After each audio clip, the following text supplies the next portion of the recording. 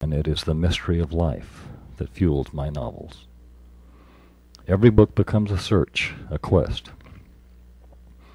That may be a bit surprising to those who are somewhat familiar with the types of books I have written but have not read any. It could even come as a surprise to some who have read the books, but that's okay, that's fine, because it's really a compliment to my craft if readers discover only entertainment, but keep returning to the well time and again for more of the same. The fact that they do keep returning is evidence enough for me that something ineffable is traveling between the minds. Most of my novels are pretty tough pieces. Things are hard and life's a sweat. There's a lot of agony, a lot of sacrifice, a lot of death.